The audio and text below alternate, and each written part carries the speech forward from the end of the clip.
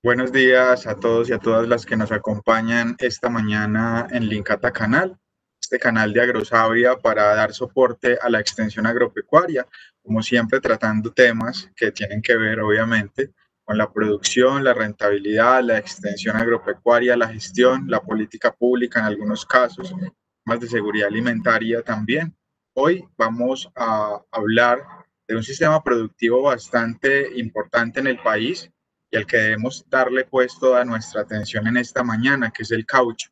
Vamos a empezar, em, digamos, con la identificación, manejo y control de problemas fitosanitarios. Ustedes saben que desde Agrosavia tenemos una aplicación móvil bastante valiosa que se llama Doctor Agro y que permite este trabajo. Y además, pues vamos a tener expertos en este tema que van a ir abordando cada una de, estas aristas del caucho. Voy a presentarles eh, a las personas que nos acompañan el día de hoy, los investigadores que están con nosotros. Está la doctora Nancy Barreto Triana. Ella es ingeniera agrónoma, magíster en ciencias agrarias, fitoprotección integrada, doctora en entomología, con 25 años de experiencia investigando las dinámicas y el manejo integrado de plagas de importancia económica, taxonomía, biología, comportamiento de insectos, fluctuación de poblaciones, entre otras cosas. Es investigadora pues de la Corporación Colombiana de Investigación Agropecuaria, Agrosavio. La saludamos esta mañana, doctora Nancy, ¿cómo se encuentra?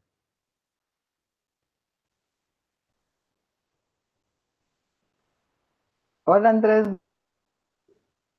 nuestros participantes panelistas de hoy y a todos los que gentilmente quieren escucharnos. Claro que sí, muchas gracias a usted, doctora Nancy, por estar y por organizar este espacio asociado pues a Doctor Agro como un aliado del campo colombiano.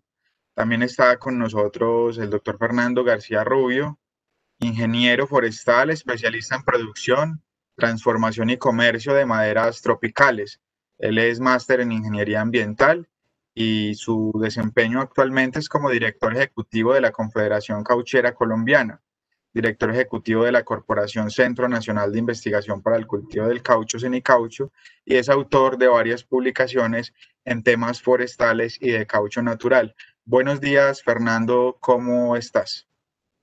Buenos días, Andrés, muy buenos días a los compañeros de la mesa de trabajo de hoy virtual y buenos días a todos los que están presentes en esta importante eh, reunión, este importante encuentro para el sector de caucho y para todos los interesados en, en este tema. Muchas gracias por la invitación y estamos muy atentos a, a la participación ya en el evento. Claro que sí, Fernando. Por allá lo vemos como en campo. ¿En qué lugar está esta mañana? Estamos exactamente en el Bagre, Antioquia. Al fondo pueden ver una plantación de caucho natural que estamos visitando en estos días. Eh, precisamente estamos utilizando una parte de, este valioso herramienta que ha sido doctorada a través de caucho. Claro que sí, por allá se ve el cultivo. Muy bien. También está el doctor Guillermo León, ingeniero agrónomo de la Universidad Nacional de Colombia, especialista en control biológico de insectos, plagas y artrópodos del International Institute of, Biological Control y la Universidad de Londres.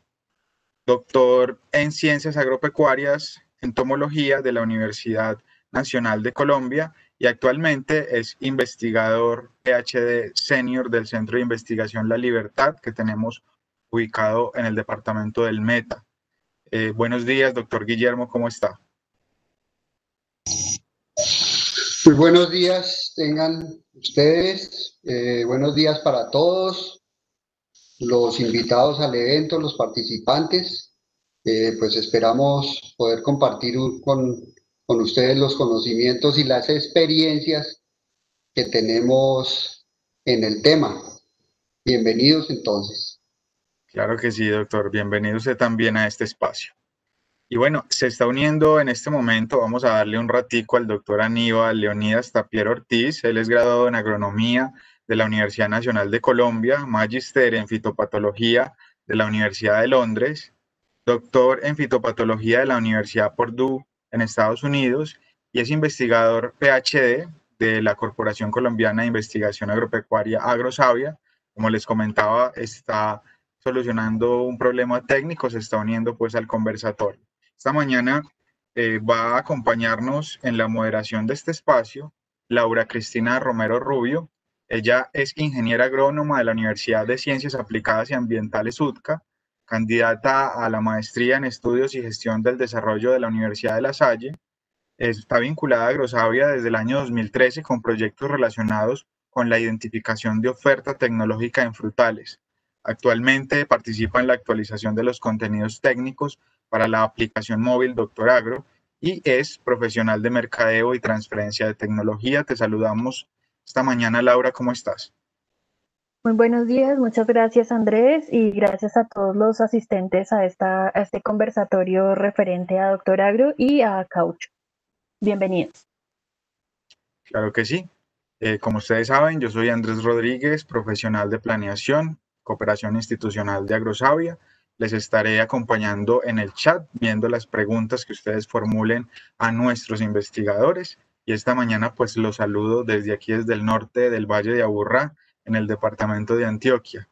Eh, le doy paso entonces a Laura para que tome el control del conversatorio y converse con estos expertos en caucho. Adelante, Laura. Muchísimas gracias. Eh, bienvenidos a todos. Eh, gracias por su disposición a este conversatorio sobre Doctor Agro y eh, caucho. Entonces, iniciaremos con la doctora Nancy Barreto, quien nos dará una contextualización de lo que es Doctor Agro, cómo se descarga y se usa. Adelante, doctora Nancy.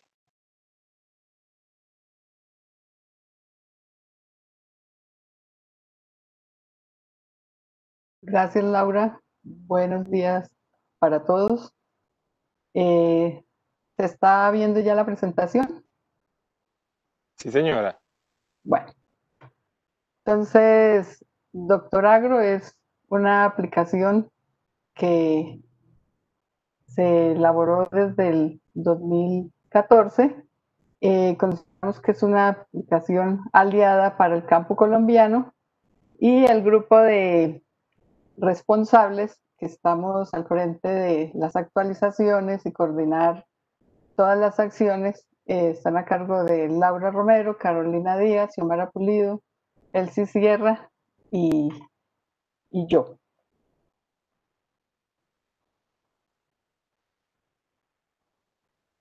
El Doctor Agro es una aplicación móvil gratuita eh, que apoya la toma de decisiones en campo para el manejo y control de plagas, enfermedades y deficiencias nutricionales en diferentes cultivos en Colombia. Una de las principales ventajas es que su descarga es gratuita cuando los usuarios estén conectados a Internet. Una vez que ustedes la descargan, eh, ya queda guardada en su dispositivo y puede ser utilizada. La deben descargar en Google Play o en el App Store según sus eh, aparatos celulares o tablets. Eh, ya para poder revisar la información que contiene, entonces eh, no se requiere conexión a Internet. Esto es una gran ventaja teniendo en cuenta que acá en Colombia todavía no tenemos mucha conectividad en algunos lugares eh, en campo, entonces esta es la principal ventaja que tiene frente a otras aplicaciones. Eh, a partir de unos criterios de búsqueda previamente seleccionados por nuestros usuarios, entonces se presenta un listado de los posibles agentes causales o deficiencias que están ocasionando el el daño o el síntoma que el usuario está viendo en campo y entonces ahí eh, el usuario escoge y consulta toda la información técnica en la que desee profundizar sobre ese problema. Tiene una mejora que le hicimos el año pasado, que es un menú de acceso rápido que le va a facilitar las labores de campo al extensionista o asistente técnico. ¿Esto qué es? Que tiene, si el usuario ya sabe qué problema es el que tiene y quiere revisar alguna eh, característica, entonces simplemente eh, digita una palabra clave el nombre de la plaga, enfermedad o deficiencia y le va a aparecer directamente la información.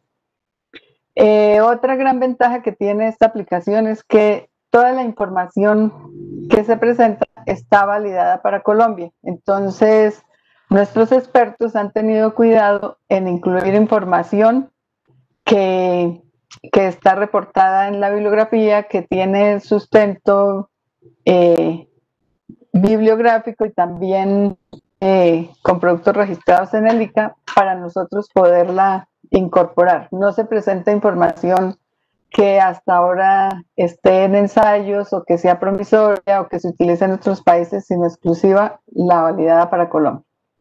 Eh, adicionalmente, tiene una galería de fotos a la que ustedes pueden acceder, eh, pero cuando tengan conexión a Internet, para los que quieren profundizar en el reconocimiento de, esos agentes causales, pero vale la pena eh, mencionar que con la información que quedó descargada es suficiente para que nuestros usuarios puedan identificar el problema que tienen.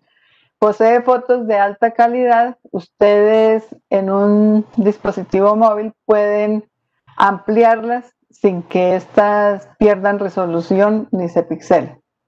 Eh, automáticamente cuando tenemos nuevos contenidos, la aplicación se actualiza también tenemos una sección de consejos Doctor Agro, que es una sección con recomendaciones amplias y generales para los diferentes cultivos.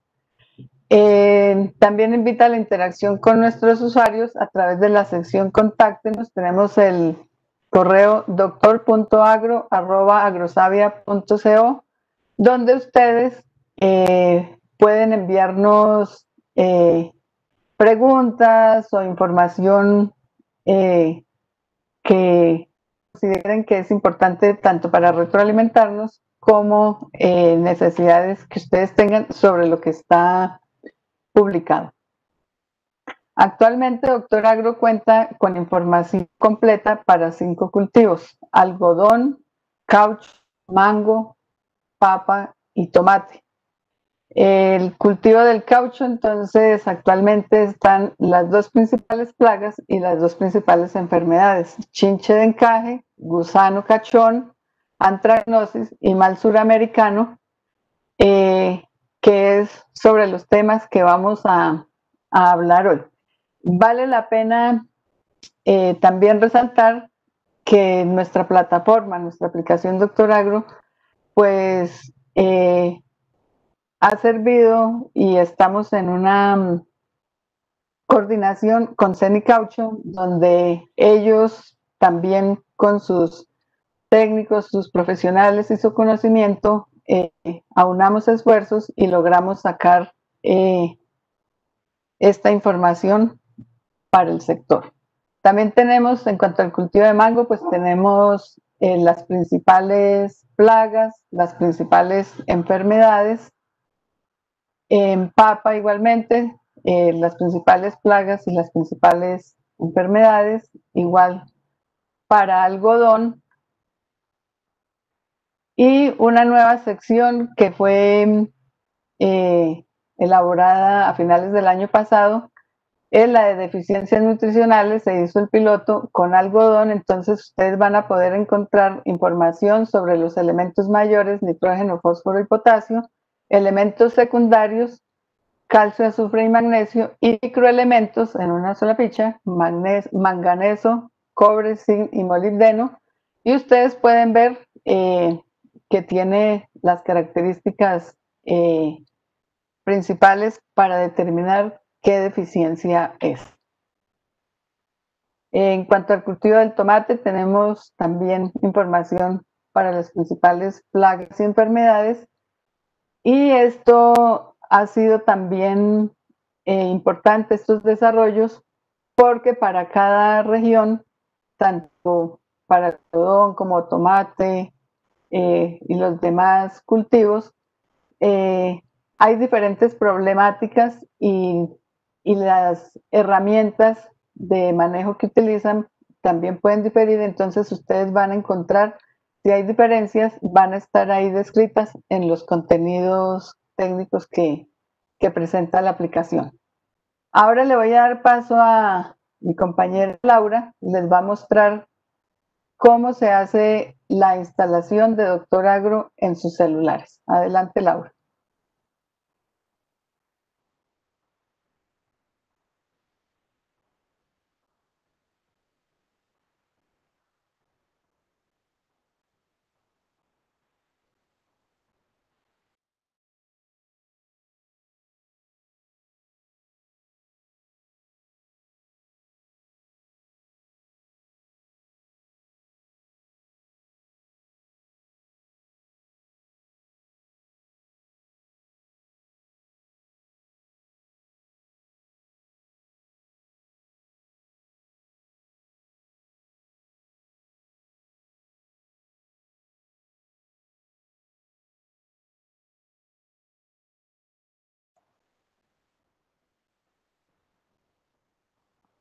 Laura, creo que hay problemas, no se oye.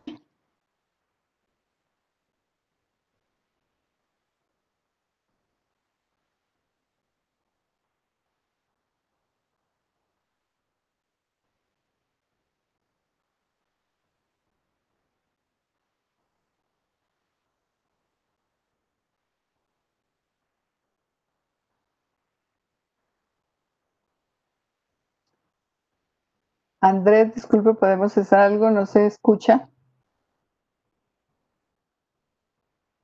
Pues yo lo que les propongo es que de pronto eh, expliquen el video verbalmente. Si lo, si lo desean poner de nuevo, pero explicarlo ustedes.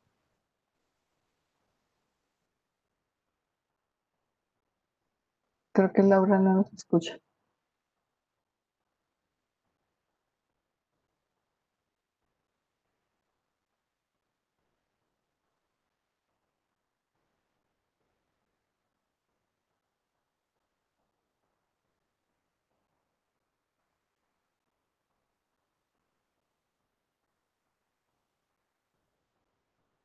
Permítanme un segundo y lo vuelvo a reproducir. Qué pena con ustedes.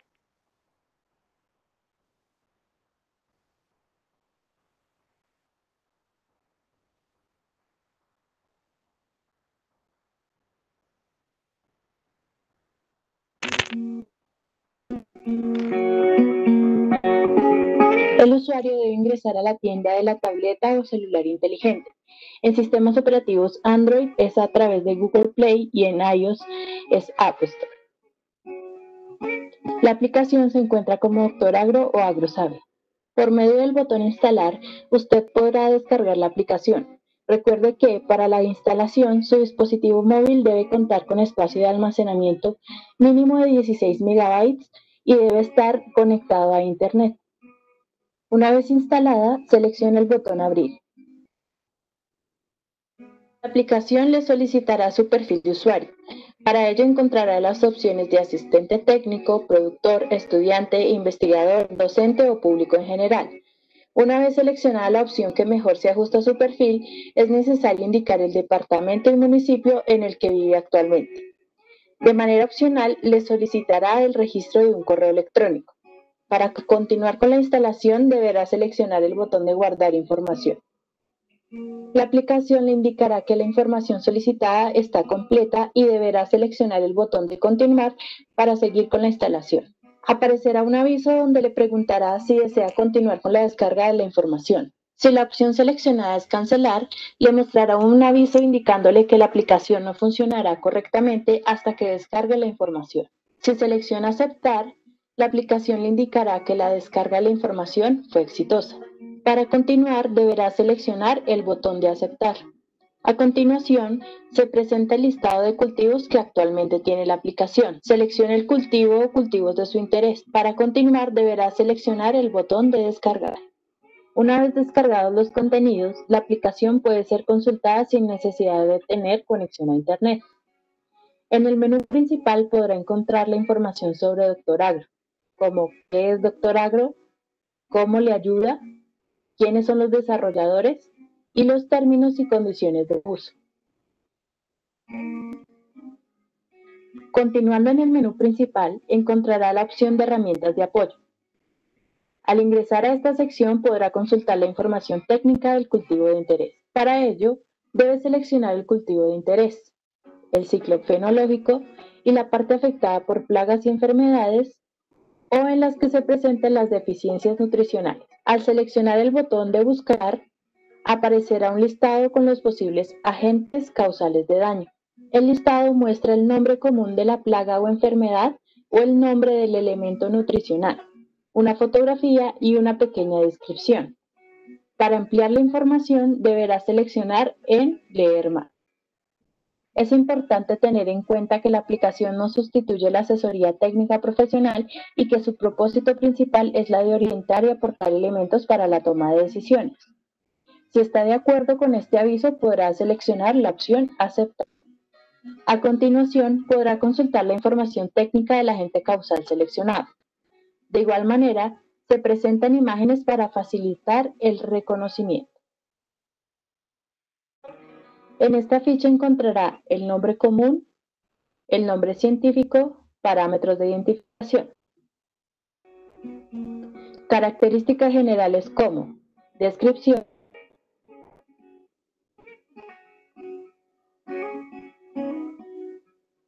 distribución geográfica, biología y hábitat, año, nación, Ciclo de vida, comportamiento, distribución espacial en el lote y hospederos vegetales. Estrategia de manejo integrado. Medidas de prevención.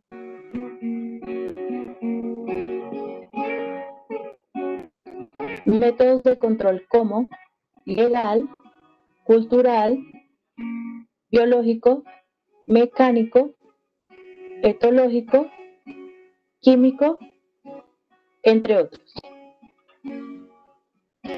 También podrá consultar el listado de registros nacionales de plaguicidas químicos de uso agrícola, referencias bibliográficas y equipo de trabajo. Para acceder rápidamente a esta sección, Seleccione el icono de la tabla que se muestra en la pantalla principal de la aplicación o seleccione la lupa para buscar por el nombre común un agente causal. En la galería de fotos podrá encontrar imágenes de apoyo para facilitar el reconocimiento de los diferentes agentes causales de daño. Para acceder al contenido de esta sección es necesario que su dispositivo esté conectado a Internet. Al igual que en la sección anterior, Debe indicar el cultivo de interés y el agente causal a consultar y seleccionar el botón de buscar.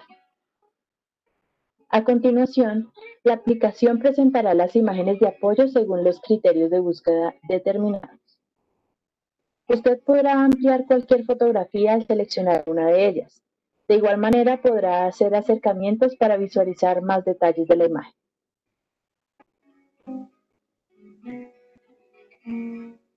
En la sección de consejos de Doctor Agro podrá encontrar recomendaciones del manejo integrado de los cultivos de interés.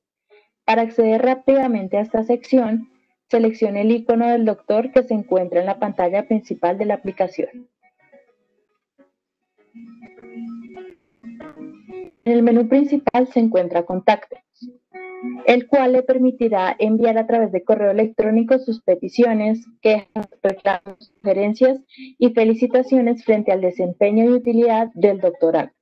También nos puede escribir directamente al correo electrónico dr.agro.agrosavia.co. Para la administración de la aplicación se encuentra con las secciones de descarga de contenido, actualizar contenido y eliminar contenido. Para descargar contenido se debe seleccionar los cultivos de interés. En el listado aparecerán los cultivos que no fueron descargados al instalar la aplicación. Para actualizar el contenido disponible, debe seleccionar el cultivo que desea actualizar. Para eliminar algún contenido que ya no es de interés, debe seleccionar el cultivo y eliminar. Y con esto hemos finalizado el proceso de descarga y uso de la aplicación Doctor Agro, el aliado del campo colombiano.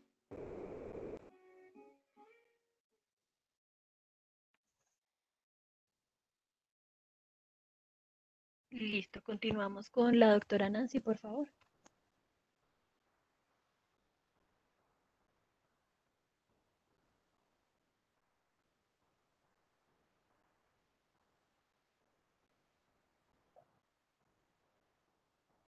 Bueno, entonces como pudieron observar es fácil la descarga y muy práctico su uso. Em, ya para finalizar, entonces les voy a comentar cómo es que actualizamos Doctor Agro. Eh, nosotros hacemos una priorización de, de los problemas.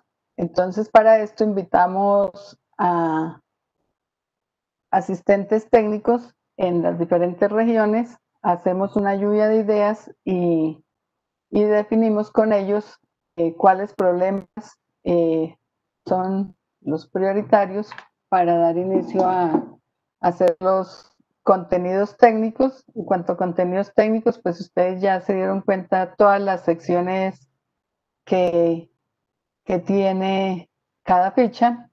Eh, también tenemos que ir buscando material fotográfico que sea representativo.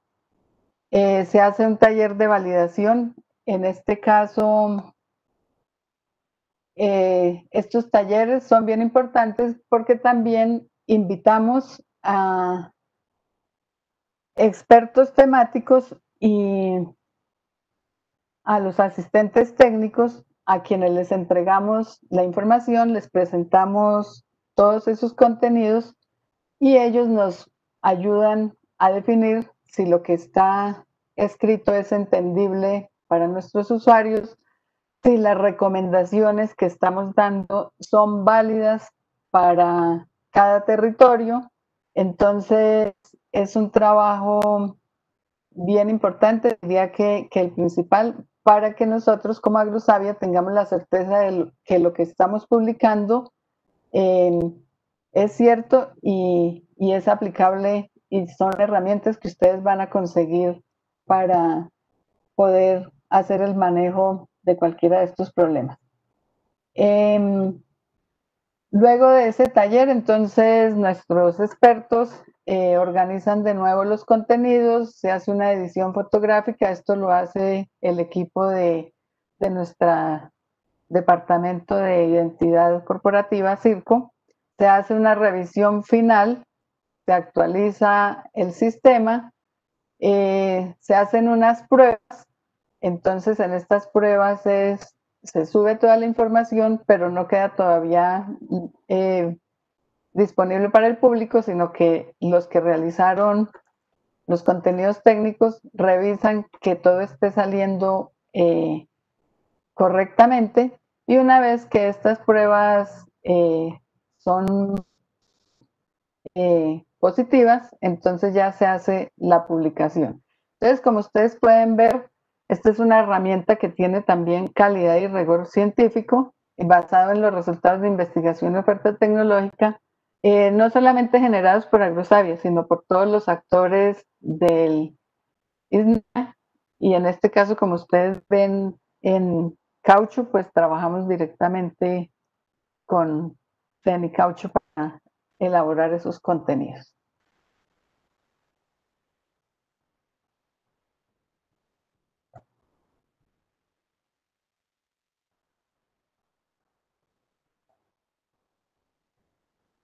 Eh, ¿Qué viene para Doctor Agro? Entonces, en hortalizas y aromáticas eh, vamos a trabajar en enfermedades y plagas del frijol, en deficiencias del tomate, en tales como aguacate, cítricos, guayaba, maracuyá, mora y plátano, entonces todo lo concerniente a plagas y enfermedades en cultivos transitorios, en caña, en arroz, en maíz, en maíz y en soya. En todos vamos a trabajar eh, deficiencias y solamente para caña vamos a trabajar plagas enfermedades. En permanentes, entonces también con caucho vamos a hacer las deficiencias de este cultivo y en cacao, entonces también con los nuevos componentes, plagas, enfermedades y deficiencias nutricionales. Em, en el chat que está abierto ahorita eh, con Andrés, ustedes por favor nos pueden enviar eh, su interés, qué cultivos quieren que, que, publiquemos, en cuáles hay necesidades, dependiendo la zona donde ustedes estén, para ver si podemos darles respuesta. Eh, esta es la aplicación Doctor Agro, un aliado en el campo colombiano, y quedamos pendientes de sus preguntas, de sus sugerencias, y mi correo nbarreto.agrosavia.co. Muchas gracias. Muchas gracias, doctora Nancy. Eh, le damos eh, la bienvenida y el paso al doctor Fernando García eh, para que nos ofrezca algunas palabras. Bienvenido, doctor. Adelante. Hola, buenas, buenos días de nuevo. un saludo para todos. Definitivamente es un placer de nuevo estar con compañeros de trabajo de algún tiempo como el doctor León, la doctora Nancy, el doctor Aníbal, volver otra vez a, la casa que fue Agrosavia pues, durante 15 años y estar aquí ahora desde el gremio, eh, tal vez de pie aplaudiendo un esfuerzo que fue visionario, porque cuando crearon Doctorado, cuando fue la iniciativa de Doctor Agro, efectivamente la tecnología en de estas herramientas estaba un poco alejada del productor. Y si hay algo que nos ha dejado de enseñanza esta pandemia es que definitivamente el productor colombiano, el, pequeño productor se ha acercado más a la tecnología. Eh, en ese sentido, la red Linkata, en ese sentido, herramientas como el Doctor Agro se han, venido posicionando y convirtiendo en reales apoyos para eh, tanto el gremio que, hoy nos acompaña, que es el caucho natural, como para realmente los investigadores técnicos y todas las personas que de alguna manera se interesan en estas ayudas que día a día se abrieron paso y ya son parte de nuestra vida cotidiana. Realmente, Doctor Agro ha sido un esfuerzo eh, y un resultado de, una muy agradable articulación entre la institucionalidad gremial y la institución técnica pues, de investigación y gobierno como la Sagra Suavia. Realmente es una eh, demostración de que la unión, el, compartir conocimiento, el sentarse a, realmente homologar toda esa vinculación tecnológica, todo ese conocimiento tecnológico y colocarlo al servicio del, del, agro colombiano funciona, estar de la mano entre las instituciones gremiales y las instituciones de gobierno desde el punto de vista técnico, eh, hacen grandes cosas, eh, nos ayuda a optimizar recursos, nos ayuda a hablar un mismo idioma, a sincronizarnos un poco en todo el tema técnico y eso realmente lo valora eh, el productor colombiano.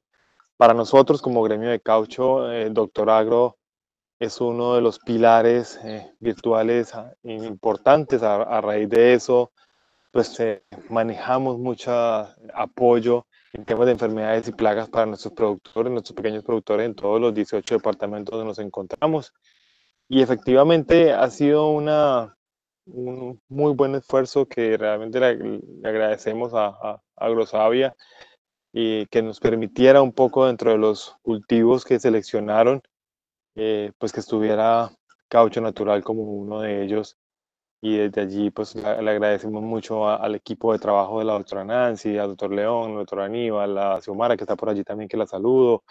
Entonces, eh, creo que ese es uno de los, de los logros importantes que hemos tenido y que día a día lo veo más posicionado, los felicito muchísimo, seguimos muy comprometidos con seguir actualizando y ampliando el conocimiento de caucho obviamente desde, la, desde esa articulación, que no solamente está en este sentido, sino obviamente es una institución que es muy amiga de nuestro gremio. Muy amable, ¿verdad?, por la invitación, por el espacio el gremio de caucho siempre estará dispuesto a todo este tipo de innovaciones, a todo este tipo de investigaciones que nos ayudan y le ayudan a todos nuestros productores.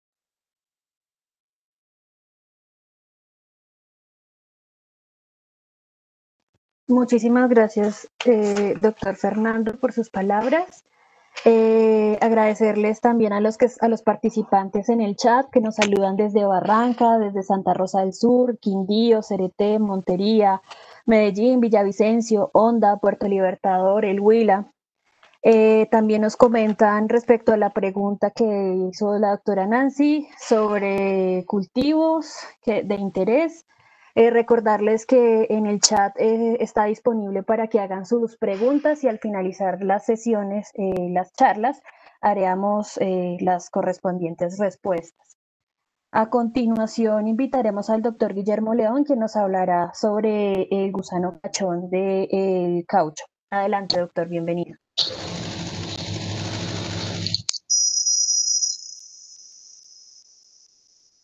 Bueno, muy buenos días. Buenos días para todos nuevamente. Bueno, eh, pues en el día de hoy sí, ya, ya, ya me escuchan bien, sí. Señor. Bueno, en el día de hoy pues eh, voy a compartirles una experiencia de conocimiento que hemos tenido, hemos logrado durante varios años de investigación en el en el programa de manejo integrado de plagas de gusano cachón. Entonces, eh, voy a permitirme presentarles una charla eh, relacionada con, con el tema. A compartir la presentación.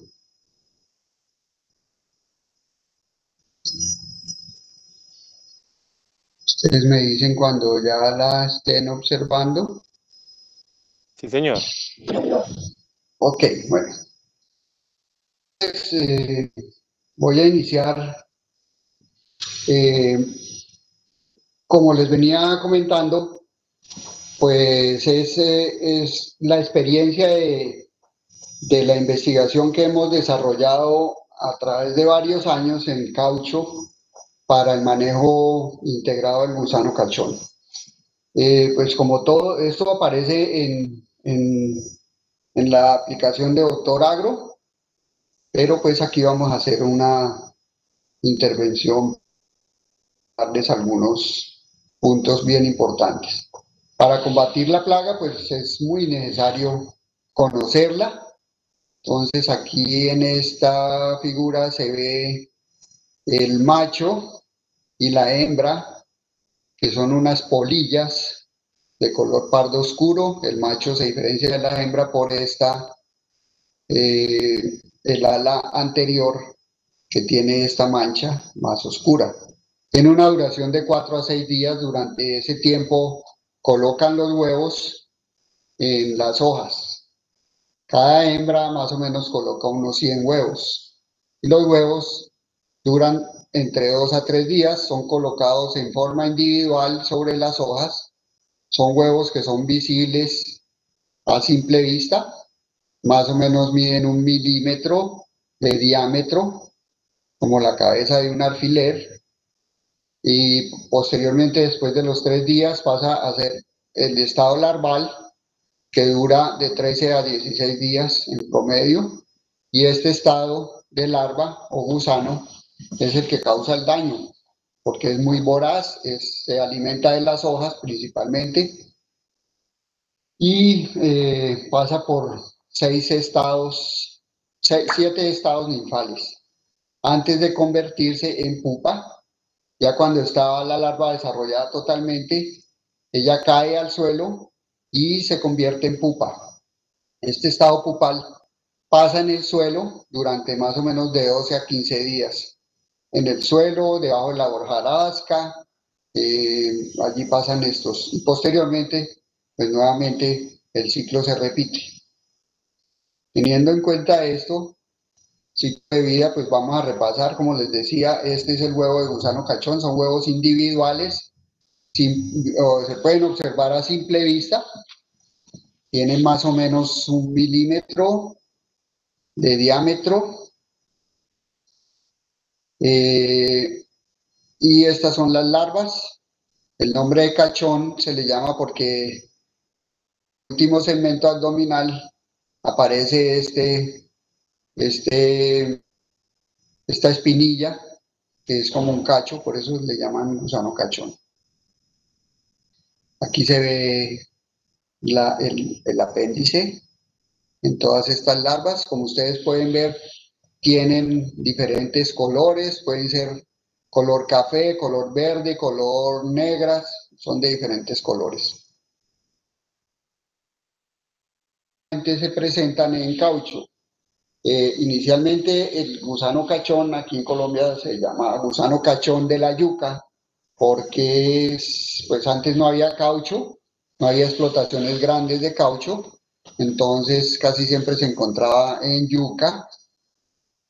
El CIAT alcanzó a hacer muchos trabajos sobre el manejo de la plaga y eh, digamos es una plaga muy importante en yuca y también es importante en otros cultivos como la papaya, donde causa defoliaciones del 100% en una o dos noches.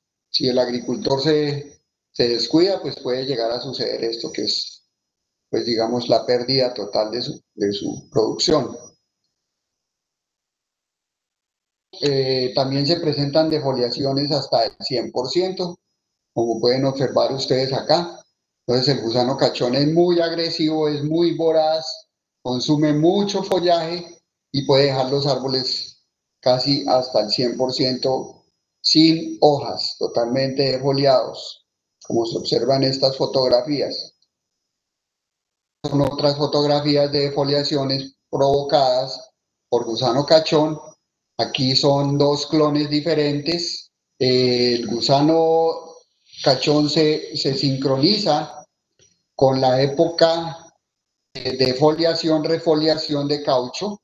Entonces este caucho, este caucho se refolió antes que este otro y eh, después de la refoliación entonces sufrió el ataque del gusano cachón. Los ataques de gusano cachón entonces se dan casi siempre en las épocas cuando la plantación está en refoliación, es decir, después de las de que empiezan las, eh, la época lluviosa. Eh, el, el, gusano cachón también, como todos los organismos en la naturaleza, tiene enemigos naturales. Algunos son depredadores, o sea, insectos que se consumen eh, a otros que se alimentan de otros, parasitoides, unos que eh, viven a expensas de otros, pero le causan la muerte, y los entomopatógenos, que son los que causan enfermedades a los insectos, tales como los virus, las bacterias y los hongos entomopatógenos. Estas son las tres clases las tres clases de las tres clases de, enemigos naturales que podemos clasificar. Eh, lo que hemos eh, observado y conocido, eh, digamos, hay diferentes predadores de, de, gusano cachón. Aquí vemos un chinche que se llama montina, un chinche que es muy normal observarlo en la altillanura colombiana, alimentándose de, de gusano, de larvas de gusano cachón. No solamente se alimenta de esto, también se ve en soya, pues la altillanura, eh, ustedes saben que tiene grandes extensiones sembradas en soya, en maíz, entonces este enemigo natural es muy importante y se ha observado eh, en plantaciones de caucho son las arañas. Las arañas son de diferentes especies que se pueden alimentar de larvas pequeñas de, de cachón. Sí, esas se observan eh, camufladas eh, debajo de las hojas, entre las hojas. La mayoría son, son arañitas saltadoras y depredadoras. Este que casi todos conocemos es la mantis religiosa. También se presenta mucho en plantaciones de caucho y es un enemigo natural bastante importante. Otros enemigos naturales, como los, hay varias especies de chinches de la familia Reduvide y hay de otras familias de chinches que son depredadores.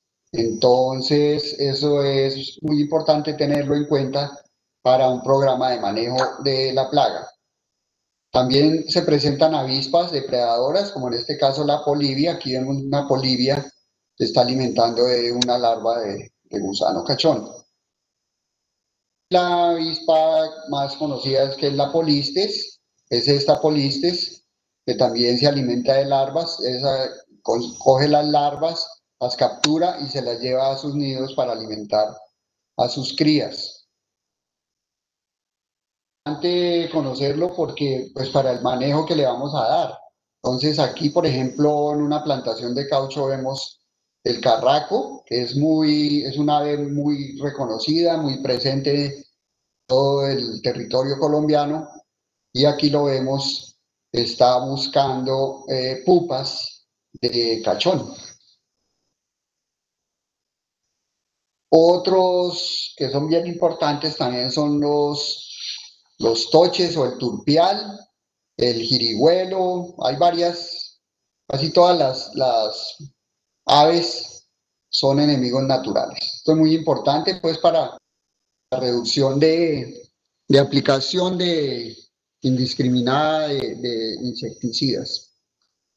Eh, también hay parasitoides, o sea, eh, que se alimentan insectos que, se, que viven a expensas su hospedero. En este caso vemos una larva de gusano cachón y aquí están saliendo larvas del interior de su cuerpo ¿sí? Lo ha parasitado. Son más de 300 larvas que salen de una sola, de una sola larva de gusano cachón. Aquí está otro, otro aspecto ya más adelantado, más avanzado del proceso. Y finalmente se forma un cocón como algodonoso eh, que forman las, las larvitas de, de la avispa. Es una avispa pequeña que coloca sus huevos dentro de una larva de gusano cachón coloca 300, 350 huevos y ahí salen 300, 350 larvas. Estas larvas se van a convertir en avispitas benéficas para el cultivo. Otros parasitoides que también son comunes son estas eh, eh, moscas, belbosia, son taquínides. Aquí observamos ellas para sí ponen los huevos en las, en las larvas de gusano cachón, pero se, el huevo, la larva se introduce dentro de la larva de gusano cachón y la larva de gusano cachón alcanza a empupar. ¿sí? Alcanza a empupar, pero no alcanza a salir el adulto. Entonces lo que emerge posteriormente son, son adultos, pero de la mosca. Nosotros hemos encontrado hasta dos moscas por cada pupa de, cachón. Y otro que es más conocido, pues es el, la avispita tricograma. Esta se consigue comercialmente, se puede, se puede comprar y se puede liberar en campo. Entonces aquí vemos una avispita tricograma que es muy diminuta, eh, aquí está colocando sus huevos sobre un huevo de una plaga de algodón. Los huevos parasitados tornan oscuros, tornan color negro. Y esa es la forma de Y aquí vemos la avispita tricograma en un huevo de gusano cachón. Entonces vemos que el gusano, el huevo de cachón es mucho más grande que la avispita. Entonces, esta avispa alcanza a colocar entre 20 y 30 huevos dentro del huevo de gusano cachón. Otro muy importante es Telenomus. De este sí no se consigue, pero este es natural. Se encuentra en el campo. También es eh, más o menos igual del tamaño de, de la avispita tricograma. Pero la ventaja es que tricograma, como ya les dije, sí se consigue y se puede, se puede comprar y se puede liberar. Aquí vemos nuevamente la avispita colocando sus huevos. Este es el huevo de gusano cachón, también se volvió negro porque estaba parasitado y vemos el orificio por donde salieron las avispitas y de este solo huevo contamos más de 20 avispas que salieron de un solo huevo. Son aspectos bien importantes que hay que conocer. Eh, nosotros realizamos como parte de investigación la evaluación del parasitismo en huevos de cachón, entonces lo que hacíamos era recolectar los huevos en las plantaciones, hicimos un trabajo en la Orinoquia y hicimos un trabajo en el cinturón cauchero de, del sur de Córdoba. Eh, lo que hacíamos era recoger los huevos de cachón, se llevan al laboratorio se observa el parasitismo. Lo que encontramos es que hay un alto potencial de parasitismo de huevos, digamos de, un total de 13.000 huevos que recolectamos en la Orinoquia, eh, 5.600 estaban parasitados. O sea que eso nos daba más o menos un 42% de parasitismo, más un 13% de huevos que no nacen por varios factores, porque son infértiles. Entonces tenemos que el total de huevos que coloca las polillas, eh, menos del 50% nace. Y en la región de Córdoba, al sur de Córdoba, el 57% de huevos encontramos parasitados. Esto es un trabajo que hicimos durante dos años eh, y aquí está el número de huevos que evaluamos. En una región fueron 13.000 huevos, 13.430 huevos y en la región de Córdoba fueron 8.500 huevos. digamos, para, entonces de allí sale la primera estrategia para el manejo de la plaga. Entonces, es controlar los huevos. ¿Qué tenemos que hacer? Tenemos que hacer liberaciones de tricograma. El tricograma consigue en diferentes presentaciones. Esta es una presentación. Aquí esta es una bolsita de, de papel donde hay dos pulgadas de, de tricograma comercial. O sea que hay más o menos unos 5000 adultos de tricograma en esta bolsita. Entonces, lo que hacíamos en lo que hicimos en unas plantaciones de caucho es coger dos palitos y, amarrar esta, esta bolsita a, un, a, una, a una cuerda con los dos palitos para posteriormente lanzarlo hacia, hacia la parte alta de las ramas, que es donde se colocan los huevos, donde las, las polillas colocan los huevos. Entonces aquí vemos ya que la rama quedó enredada y aquí está la, el tricograma ya liberado en la parte alta. Es, una, es un método de aplicación de tricograma. Hay otros métodos, eso lo hicimos hace muchos años. Eh, pues la liberación debe ser uniforme dentro de la plantación hay que hacer liberaciones, por ejemplo, caminar la plantación en este sentido, luego devolverse por el otro surco y ir liberando entre 50 y 100 pulgadas por hectárea en el campo. Se puede hacer de la manera que les dije, es dispendioso, y nosotros eh, después de eso pues hicimos la evaluación, evaluación para saber qué estaba sucediendo, que si el litricograma que estábamos liberando sí estaba trabajando. Entonces, para eso teníamos que buscar las posturas de gusano cachón en, en la parte intermedia y en la media, baja y alta de los árboles. Hicimos las colectas y entonces esto fue lo que encontramos. Encontramos que cuando liberamos 50 pulgadas, a los cinco días ya teníamos un porcentaje del 60% de parasitismo y a los 12 días ya encontrábamos el 100% 100%, oiganlo bien, 100% de parasitismo. O sea que la liberación de tricograma nos está trabajando bastante bien.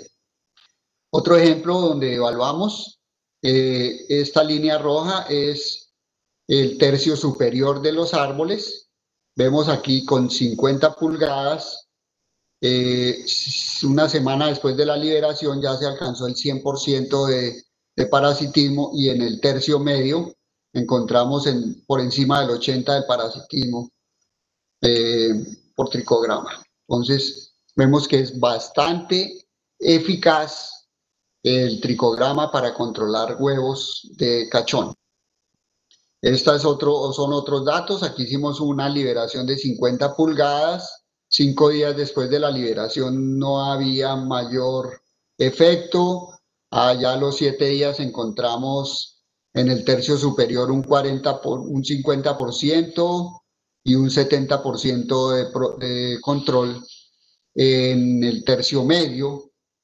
Y después de la segunda liberación, hicimos una segunda liberación después de 10 días de que hicimos la primera y encontramos que los parasitismos subieron entre el 90 en el tercio medio y 100% de control en el tercio superior.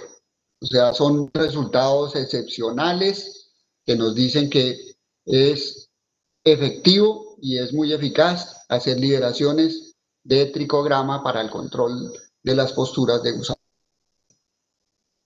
Aquí vemos un lote con liberaciones, los porcentajes de, de parasitismo y en el lote sin liberaciones eh, que nos muestra este color morado, este color eh, es el lote testigo donde no se hizo liberaciones. Hay otras formas de liberar que están eh, surgiendo, digamos en Brasil se utiliza mucho en cultivos semestrales, liberar estas bolitas que son como de icopor, que tienen un orificio y dentro están los tricogramas. Entonces se colocan en un dispensador y se pueden liberar, hay diferentes tipos de dispensador y se liberan con drones.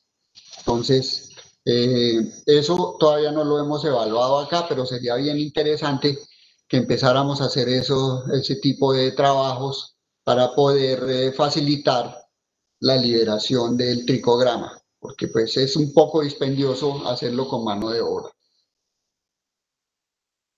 Bueno, la estrategia para el control de larvas, ya vimos la de huevos y la estrategia para el control de larvas es que nosotros recomendamos y la que hemos venido trabajando es la aplicación de baculovirus. Es un virus que eh, entra por ingestión, la larva al consumir la hoja que tenga el virus eh, se enferma, eh, su hemolinfa, o sea, todo el contenido interno se vuelve acuoso o se vuelve una masa acuosa y la larva queda colgando de los pedúnculos de las hojas en esta forma que muestra la fotografía.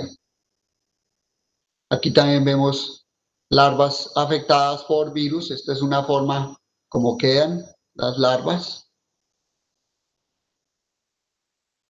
Empezamos a trabajar desde el año 2009 con ese baculovirus, unas cepas que encontramos. Eh, aquí están codificadas como BG010. Eh, hicimos aplicaciones para larvas de segundo instar y para larvas de cuarto instar y encontramos que para segundo instar el virus nos hacía un 100% de control y para larvas de cuarto instar hay controles del 50 al 86% de control después de cinco días de aplicados. Se hicieron aplicaciones y evaluaciones de baculovirus en campo, en la estación de, en la plantación de Mavalle, utilizando los equipos que ellos utilizan comúnmente para aplicaciones de químicos, sino que en esta vez aplicamos el baculovirus y tuvimos eh, una eficacia hasta del 80%. En el tercio medio el control nos dio siete días después de la aplicación 83% y en el tercio superior 76% de control para un control general del 80%. Y son controles que son, digamos, bastante eh, competitivos con relación a las aplicaciones que ellos hacen de control. Entonces, con eso nosotros seguimos trabajando para formular ese, ese virus, sacar una formulación de agrosavia para ponerla disponible para los productores de caucho. Hicimos la, la selección y evaluamos los aislamientos nativos entre el 2008 y el 2012. Eh, aislamos una cepa que es bien virulenta, bien buena, que la encontramos en los llanos orientales. hicimos una formulación en polvo mojable que tiene grandes características, tiene muchos cuerpos de, de inclusión y la dosis letal es mucho mayor que otros granulovirus, o sea que mata mucho más rápido porque la concentración es mayor, es bastante mayor. Entonces eso nos dio como resultado promisorio para ser utilizado como un biopesticida. Entonces ya empezamos a hacer eficacias de, de sobreconsumo del área foliar y vemos que las larvas cuando se aplicaba en segundo istar nos, nos reducía, nos redujo el consumo foliar en 83%, o sea que la larva consumía 83% menos de lo que consumiría si estuviera sana. Y cuando aplicamos en cuarto instar, la larva consumía casi la mitad de lo que consumía, consumiría si estuviera sana. Eh, se seleccionó la, mejor, la menor concentración del bioplaguicida con esta dosis de 2 por 10 a la 11 cuerpos de inclusión por hectárea. Empezamos a hacer eh, aplicaciones en diferentes plantaciones para medir la eficacia del baculovirus ya formulado en diferentes dosis. Entonces aquí utilizamos en San Carlos de Guaroa, en la finca Las Delicias, el prototipo del producto en tres dosis y lo comparamos con un monoprotofos. Encontramos es que hubo mortalidad, se hizo la aplicación y la evaluación se hizo a uno, tres, cinco días después de aplicado y, y ahí nos sale la mortalidad con eficacias de control en estas dosis baja, media y alta por encima del 70%, entre el 70 y el 82%. Y este es el, el control químico que nos da el 94% de control. Al hacer los análisis estadísticos de todos los datos de esta prueba, no se encontraron diferencias significativas entre los tratamientos. Entonces eso nos da que, que el producto nos daba mucha especificidad, nos daba buena virulencia y era muy buena la patogenicidad del virus en campo. Entonces eso nos dio que tiene un alto potencial para hacer un bioinsecticida para reemplazar los productos agroquímicos. Y de allí surgió entonces ya nuestro producto Eritec, eh, que se llama Eritec, es un bioinsecticida, que es el polvo mojable a base de el granulovirus del gusano cachón. En el 2017 hicimos las pruebas de eficacia que fueron supervisadas por el ICA. Eh, obtuvimos el registro para el producto en el 2018 para aplicar en caucho con una eficacia de control que va del 70 al 100% eh, de control, de eficacia de control. Dentro de los investigadores principales pues están Juliana Gómez, Paola Cuartas, Gloria Barrera, Laura Villamizar, Marta Gómez y quien les habla, Guillermo León. Todas ellas, eh, la mayoría son son fitopatólogas, biólogas, eh, bioquímicas, que fueron las que desarrollaron el, bioproducto en los laboratorios de Tibaitatá. Yo me encargué mucho de la parte de campo, que es lo que más manejo, y tuvimos apoyo bien importante de Juan Carlos Campos y Jenny Ruiz.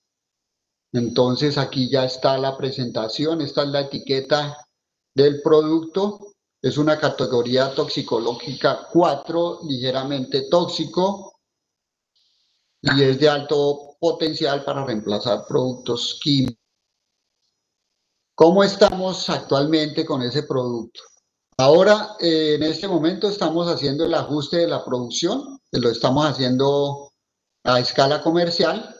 En este semestre terminamos ese ajuste y también estamos haciendo el registro para el producto en cultivos de yuca.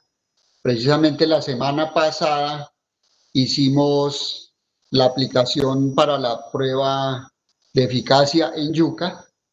Estamos desarrollando el plan de vinculación que viene con una demostración de método a los productores y pues explicación de todo, cómo trabaja el producto y eso esperamos hacerlo en el semestre, en el segundo semestre, empezamos a hacerlo en el, en el segundo semestre de este año y el lanzamiento del plan de vinculación lo tenemos programado para el próximo año.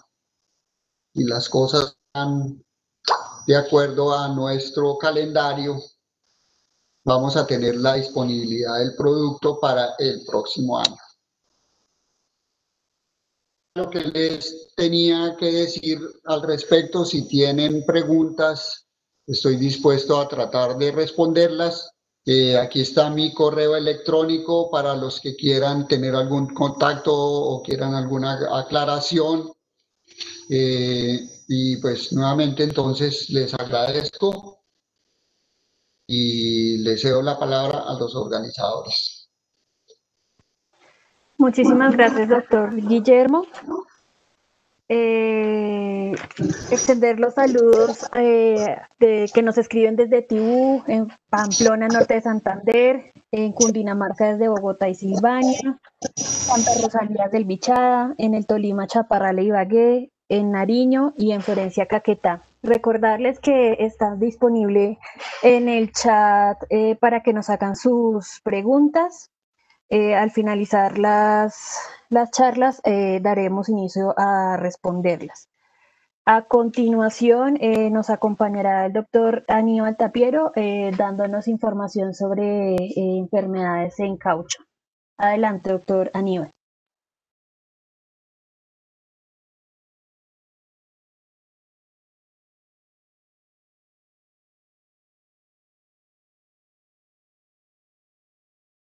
Aló. Buenos días. Muy buenos días, doctor. Adelante. Ok. Voy a ver si logro subir esto porque vivimos en un mundo muy moderno. Creo que ahí se ve. Sí, señor. Estamos viendo la pantalla. Ok. Entonces un segundo, que tengo que cerrar otras cosas. Ya. Acá. Y ahí habría que poner esto acá. Bueno, buenos días. Eh, en primer lugar, saludar a mis colegas, a Nancy, a Laura, a Daniel que me ha colaborado tanto hoy porque tenemos problemas acá en la libertad para la comunicación, a Sensei. Sensei es Fernando García, inspirador de, de muchos de muchos eventos y, una persona muy activa, muy, muy proactiva en el sentido del desarrollo del gremio del caucho. A todos los asistentes, un saludo cordial, a los amigos que están por ahí que no lo reconozcan, entonces me van a disculpar, eh, pero a todos los mucho cariño. Bueno, eh, Doctor Agro tiene un módulo que está relacionado básicamente con lo que tiene que ver eh, con el diagnóstico de antragnosis y el diagnóstico del mal suramericano de las hojas en caucho. Eh, como Doctor Agro está desarrollado básicamente para ese, ese asunto, entonces no me voy a referir mucho a lo que está en el contenido ahí, lo voy a tomar, tocar tangencialmente en el sentido de que mi interés básicamente hoy es el de presentar eh, el estado al respecto de lo que existe en torno a cuantificación y modelación de pérdidas para el manejo integral de enfermedades de plantas, en este caso antragnosis y mal suramericano de las hojas. El caucho natural tiene una historia bastante curiosa, un poco agreste en el pasado. Esa cuestión que ustedes ven ahí son cadenas a las cuales ataban a los indígenas que se incrustaron en un árbol de, caucho. Disculpen un segundo que este acá parece que donde estoy hay mucho bulla de afuera. Ya se fue. Listo. El, eh, eh, ataban a los, a los indígenas cuando no cumplían con las tareas que les planteaban eh, los, los capataces de ellos, los, los, los, amos y señores del caucho. En este momento, eh, tres tercios de la producción de la mundial se dedica a, se dedica a la, a la industria llantera y automotriz. Y también tiene origen, tiene usos en la industria farmacéutica y zapatera. O sea, el caucho es un elemento esencial en la vida moderna y, en este momento tiene unas, unas, circunstancias un poco confusas que tienen que ver en parte con la producción de caucho sintético, tienen que ver en parte con la acumulación de stocks en, en, en, en los países que lo producen y más o menos un tipo de comercialización no muy santa y que aparentemente lo que hace referencia a Brasil y Colombia es completamente distinto y aquí pasa lo mismo que pasa con la palma de aceite. Es decir, las condiciones de producción son completamente diferentes a ese pasado siniestro que teníamos y a lo que ocurre, por ejemplo, en Indonesia y los estados del sudeste asiático en general, en donde eh, las condiciones de vida de los, de los trabajadores es bastante eh, deplorable. El problema básicamente es el siguiente. Nosotros tenemos una alta incidencia de antragnosis a nivel nacional, con pérdidas económicas durante la fase de establecimiento, el dinero, se retrasa el crecimiento, se demora eh, la, el, inicio de la fase productiva y después en la fase productiva pérdidas en la producción de látiz, secamiento del panel y pérdida de la semilla. Ese es el problema de antragnosis. Y por el lado suramericano de las hojas, la modificación que la antragnosis provoca en, los, en las plantaciones hace que eh, se favorezca la susceptibilidad de enfermedades como, como el mal suramericano. Eh, ahorita más adelante vamos a plantear un poco más de eso, eh, en, más detalle, pero en lo fundamental, esa incidencia de antragnosis se relaciona la, con lo que pueda estar eh, generando como riesgo eh, eh, para el mal suramericano. El mal suramericano es la enfermedad más importante del caucho en el, en el mundo. existe solamente en América y afortunadamente los países asiáticos y africanos no tienen fuente de inocuo para que, para que la, les afecte sus cultivos. Y ahí que para ellos el, agente causal, microciclo Zuley, su fase asexual eh, para, para para ley también, eh, esté considerado como un gran eh, factor de riesgo y en algunos casos asuntos de seguridad nacional, o sea, un agente de bioseguridad. Hay un problema con respecto a la agente causal al respecto de antragnosis es que había un desconocimiento muy grande al respecto de, de la diversidad de las especies asociadas a y los métodos de control eh, siempre, eh, en general, y esa es la tendencia en toda la agricultura nuestra, eh, se limita básicamente a la utilización de productos de síntesis química. Eso ocasiona la posibilidad del desarrollo de resistencia al control químico derivado de la diversidad específica de esto. Entonces, una de las cosas que nosotros adelantamos que están esbozadas un poco sin tanto detalle, pero que están esbozadas en, en, Doctor Agro es precisamente la importancia de reconocer esa diversidad para poder hacer planteamientos generales en lo que tiene que ver con esto. El, problema es básicamente que la enfermedad se comporta como, como una inversión en, en un banco y esa inversión en ese banco eh, se mide, pues básicamente, en el caso nuestro, que sería la no inversión o sería lo negativo de la inversión, es la cantidad de daño que pueda ocasionar en un hospedero alguna enfermedad. Y esto eh, no es tan simple como decir que es que hay un patógeno, hay un hospedero, hay unas condiciones ambientales, sino que requiere un poquito de análisis más allá de esa consideración general. En primer lugar, eh, la existencia del inóculo que está en el cuadro superior a la derecha, yo no sé si allá se ve la, punta, eh, el, el, el, patógeno en sí mismo, las condiciones, en este caso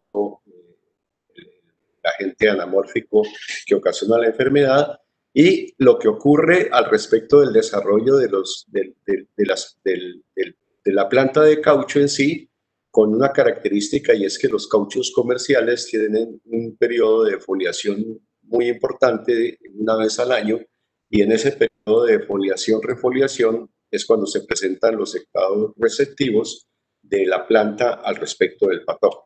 Es decir, el patógeno tiene una virulencia que se relaciona con eh, eh, ese sea el, progreso fenológico de la planta y dependiendo del estado de, de, desarrollo en que se encuentre, pues va a generar una reacción de, de susceptibilidad.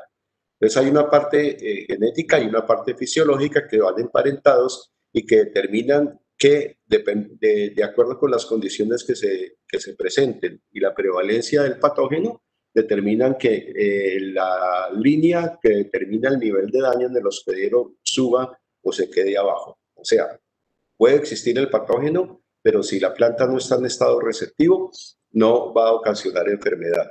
O puede estar en estado eh, receptivo, pero si no hay patógeno, como es en el caso del sudeste asiático, no se va a presentar la enfermedad. Y nosotros tenemos que aprender a, reconocer eso en el proceso de, de nuestra producción de caucho. El ambiente del caucho es un ambiente amazónico en general. Nosotros tenemos la mayor cantidad de producción en la zona de la Orinoquia en sentido amplio, eso hace parte de la también. Y desde más o menos de Manaos, no, hasta, hasta, la, hasta la desembocadura del río Amazonas en el, en el, en el Océano Atlántico, hasta el Perú, que es el sitio donde nace el Amazonas, hay un ecosistema que aparentemente es único, eh, pero tiene diferencias y esas diferencias son las que lograron eh, explotar los investigadores en el proceso de desarrollo de alternativas de manejo a, las enfermedades del caucho sin necesidad de tener que recurrir a control químico o a control de productos de síntesis química. Esta es la situación en lo fundamental. Aparentemente, el informe, como se podría ver en la vista general del, del satélite, eh, a nivel ya más local, digamos, más eh, cercano a lo que es una fotografía aérea, es una altura de 300, eh, 3.000, ¿qué? Perdón, 10.000 pies de altura, eh, ya se puede observar cómo las vegas de los ríos están despejadas de las nubes que, que, que, producen la condensación del agua que favorece las enfermedades. Esta fue una observación que tomaron los investigadores en sus grandes, en sus largas giras en procura de, semillas por el Amazonas para poder establecer eh, eh, los programas de mejoramiento en donde fueron observando de ellos el, doctor Luadir Gasparotto, por ejemplo, el doctor Ortolani, fueron observando que había unos sitios, particularmente cerca de la vega de los grandes ríos, que no eh, eh, tenían una mayor eh, influencia o no tenían una mayor afección por parte del mal suramericano de las hojas. Esto se debe a que hay unas corrientes de aires que más o menos limpian la humedad desde tempranas horas de la mañana y en la tarde y entonces por esa razón no hay condensación, mientras que ya entrando a lo que llaman allá la montaña, o sea, la selva fuera de, la vega del río, las condiciones son diferentes y la humedad se mantiene durante, durante muchísimo más, más tiempo. Y eso favorece el desarrollo de la enfermedad. para el caso colombiano la situación es un poco más compleja que en el Amazonas. En, en Colombia nosotros tenemos dos situaciones que están relacionadas con la zona de confluencia intertropical que se mueven un poco hacia el sur durante los meses de, de, diciembre a abril, pero eh, el resto de abril a, a, a diciembre eh, se mantiene básicamente en todo el centro.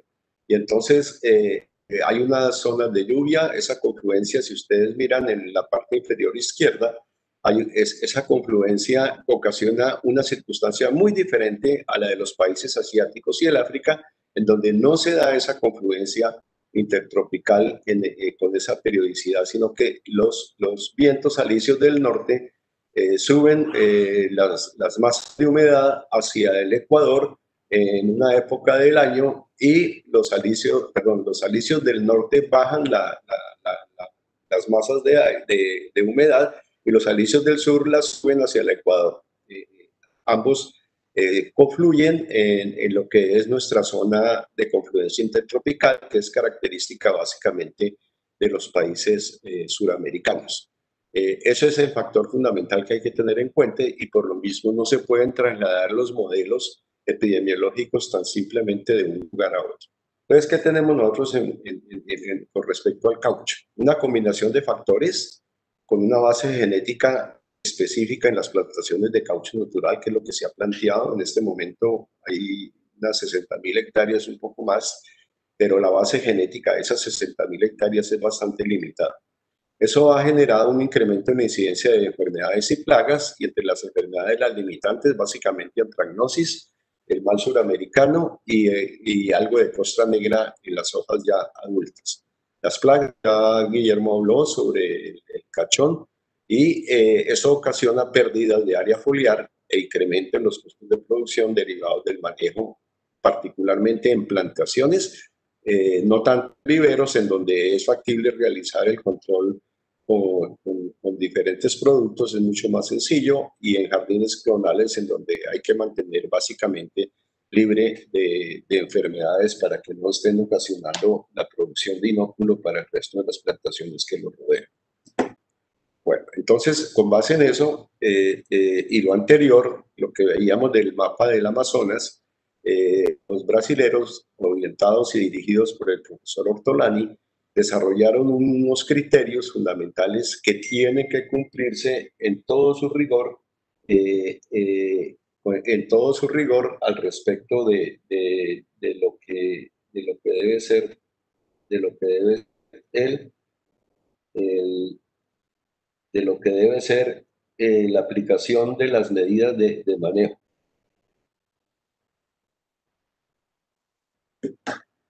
Eh, son cuatro factores fundamentales que hay que tener en cuenta. Meses secos con precipitación a menor de 100, menos de 100 milímetros.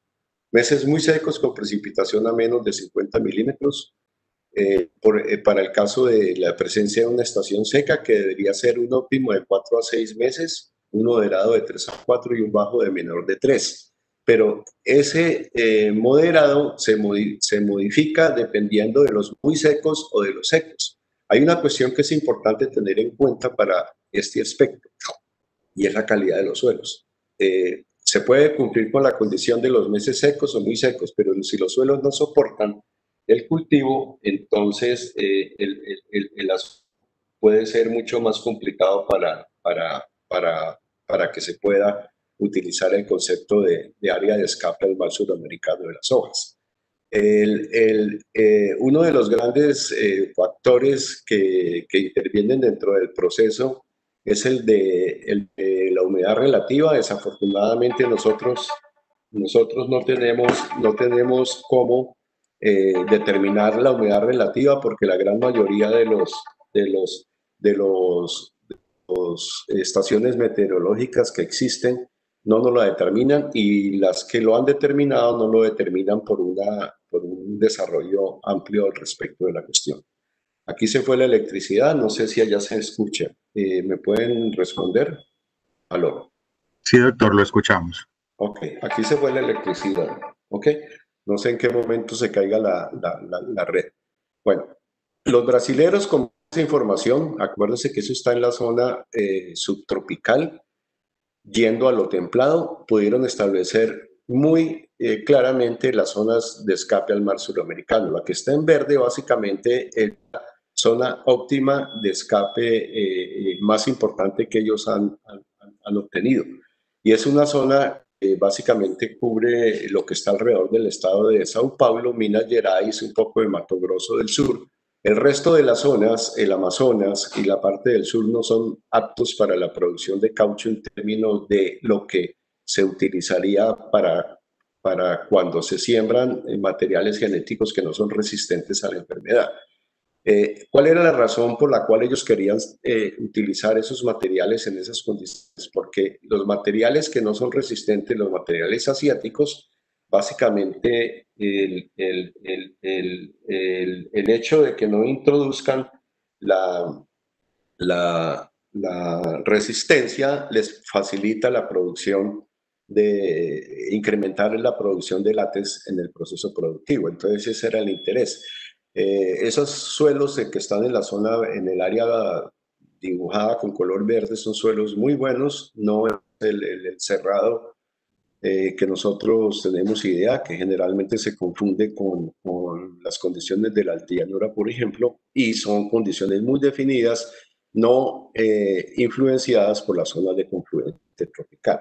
¿Nosotros qué condición tenemos? En rojo están los sitios en donde serían las áreas óptimas para la producción de caucho, pero resulta que buena parte de esas áreas óptimas están dentro del área de reserva de, eh, del Amazonas y que no se pueden pues, modificar para la producción. Pero hay unas que son subóptimas y que permiten la producción o núcleos específicos que permiten la producción de caucho eh, en, en, el Meta, por ejemplo, en Santanderes y en el cinturón cacaotero cauchero, en donde eh, fácilmente se pueden desarrollar los cultivos sin necesidad de hacer mayor esfuerzo para el control de enfermedades.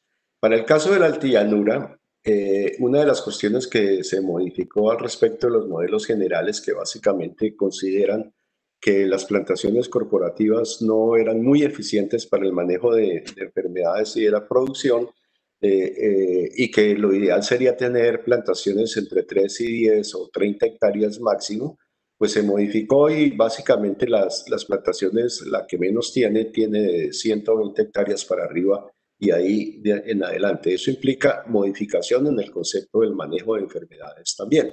Entonces hay un factor de, de, de epidemiología en el contexto del paisaje en donde hay una gran concentración, que son esos, esos, esas áreas que están en verde o están en marrón, en diferentes núcleos. La parte de abajo no está sembrada porque corresponde a la serranía.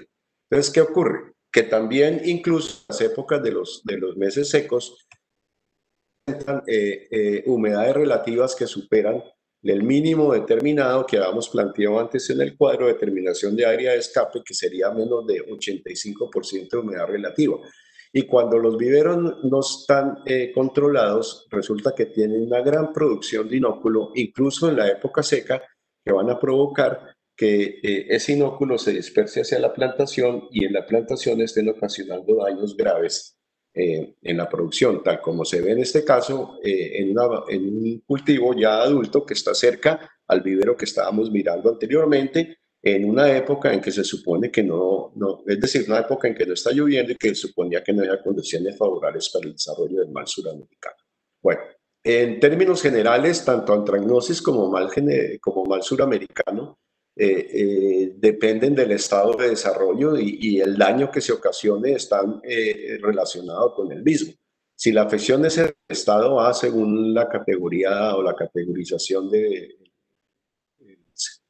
el investigador Jali, pues eh, simplemente se quiebra completamente el tejido y, el órgano que esté asociado a él eh, cae. Y en el estado B o C, cuando la afección se presenta en eso, bien, se, bien puede ser que el deterioro sea tan grave que eh, expulse, que haga caer el, órgano al cual está asociado, o sea, los pedúnculos básicamente o la base de los foliolos, eh, eh, los, los, hace caer al suelo o eh, alternativamente pase con algún tipo de afección hacia el estado D. En el estado D, o sea, en las plantas adultas, ya es muy difícil que ocurran infecciones nuevas. Solamente persisten las que vienen del estado B o C. Bueno, en general para el caso de antragnosis, los, los, daños más importantes fundamentalmente son, eh, es que eh, en el campo, la defoliación de los punteros, que conservan una serie de daños en el, en el, en el tallo, en las ramas, que trasciende la época seca y, sigue hacia la época, eh, eh, hacia la época de, mayores lluvias y de mayor humedad relativa, ocasionando eh, el, daño en foliolos jóvenes, en peciolos, en frutos y en el panel de sangría. Este es un caso especialmente característico de, del daño causado por, mal, por antragnosis, que simplemente eh, que derrite eh, la parte superior de, los, de los cultivos jóvenes por la afección a los junteros. Y entonces le provoca la formación de ramas eh, porque la planta reacciona en vista de que se muere el tejido en la parte superior, reacciona produciendo cogollos. Y en estados más desarrollados, eh, la afección en zonas de, no escape al mal suramericano, lo que puede estar ocurriendo con antragnosis y aún unas veces con mal suramericano. En lo que a la afección se eh, corresponde, para el caso del mal suramericano, lo que comentábamos anteriormente, eh, el tejido que está en la parte superior afectado y disectado ya en poristología nos permite ver tanto las conidias como el deterioro del material. Y para el caso de antragnosis, pues un poco más drástico, pero igualmente eh, el tejido afectado y lo que le está ocasionando al material eh, eh, vegetal por, por, la afección. Y otra vez en antragnosis ya en estados más desarrollados, en, este caso mal suramericano de las hojas, aquí dice antragnosis, pero debería ser mal suramericano, también se observa cómo los estromas que se forman tiene una fase de deterioro que trasciende eh, la, cutícula de las hojas. Ahora, esta es la diversidad hasta el momento en Colombia de, del patógeno que ocasiona la antragnosis, o sea, coletótrico. Hay tres grandes eh, eh, grupos que son los complejos que se conocen, el complejo coletótrico, el complejo acutat y el complejo Medibobli, que eh, tiene a su vez una gran diferenciación a nivel interno. O sea, nosotros estamos en presencia de una gran diversidad de, de, la fuente de inóculo para el caso de, la antragnosis, o sea, de coletótricum, que nos está ocasionando eh, la necesidad de conocer eh, los 11 o 12 especies que se han identificado para el caso nuestro en Colombia, y, cada una de ellas pues va a tener un comportamiento epidemiológico diferente.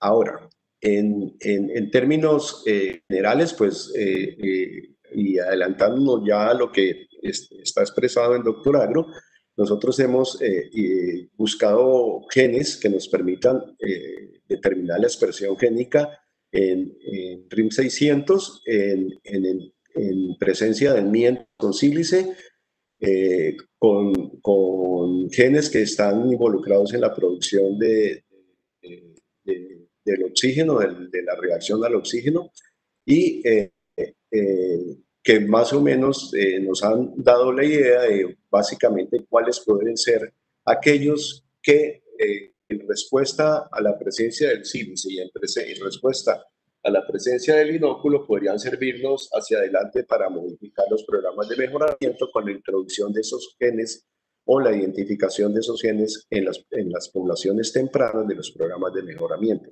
La mejor respuesta para la generación de arroz, o sea, la, la, respuesta que hace el, el oxígeno reactivo, se presenta con ese gen, el HBRBO, para tratamientos de 2, 3 y 4 4 y 24 horas después de la inoculación, sugiriendo que eh, la presencia del sílice, la adición del sílice a las plantaciones y eh, la presencia del patógeno estimula la respuesta de defensa. Entonces el planteamiento sería que en presencia de sílice induciendo la expresión de respuesta, cuando aparezca el patógeno, pues ya la respuesta está inducida y podría ser una alternativa de manejo diferente a la del control de síntesis Aquí hay una tabla en donde se muestra esa expresión para el gen experimental HBRBO, HC, empleando como endógeno un factor, eh, un gen de, que es el factor de elongación.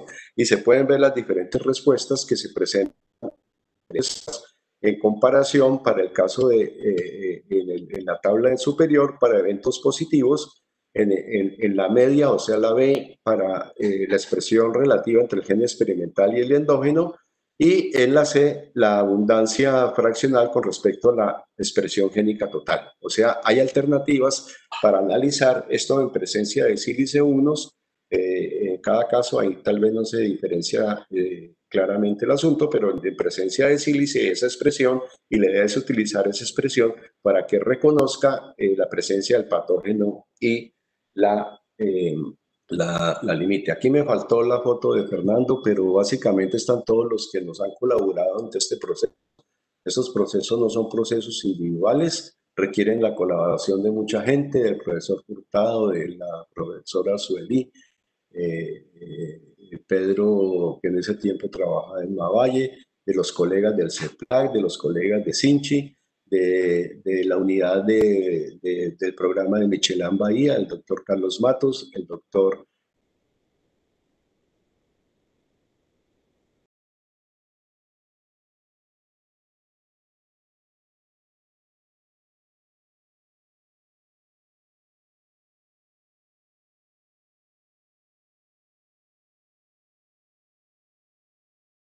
Doctor Aníbal, ¿todavía sigue con nosotros?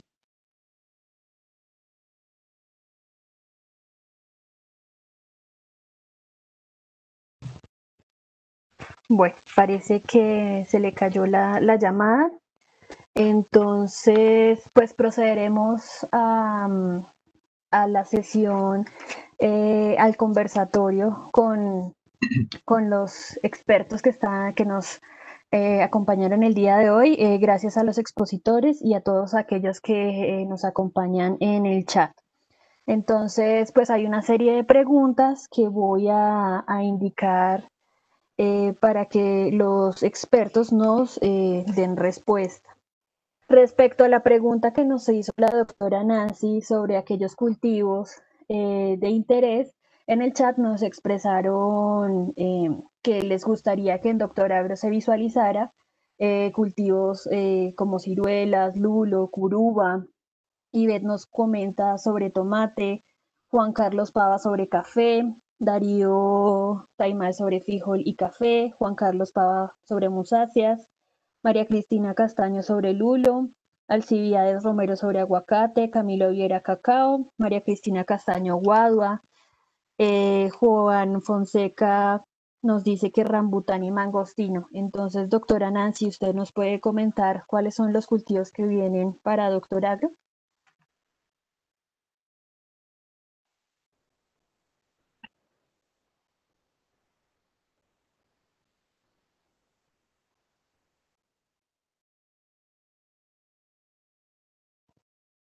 Doctora Nancy, la escuchamos.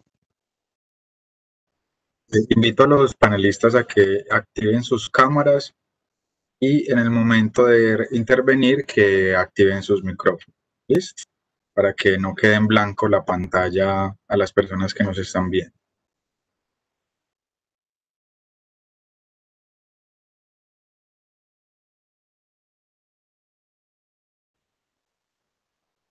Bueno, Laura, creo que la doctora Nancy no está disponible en este momento, tal vez tenga algún inconveniente. No sé si pasamos a las preguntas del chat. Eh, sí, pues em, para responder a aquellos que nos indicaron los cultivos de interés, pues les comento que Doctor Agro tiene eh, actualmente en la aplicación eh, cultivos como tomate, mango, caucho, algodón, y papa en cuanto a plagas y enfermedades. Y para deficiencias nutricionales tiene algodón. Lo que viene y lo que estamos eh, proponiendo que se desarrollen contenidos para diferentes cultivos, tenemos eh, plagas y enfermedades en frijol, eh, deficiencias nutricionales en tomate de mesa, para frutales y cosas que nos, cultivos que nos indicaban en el, en el chat. tenemos aguacate, plagas y enfermedades también para, para cítricos, para guayaba, eh, maracuyá, mora y plátano. En plátano tenemos, se están desarrollando contenidos para los diferentes picudos que atacan este cultivo, nematodos y eh, el moco del plátano.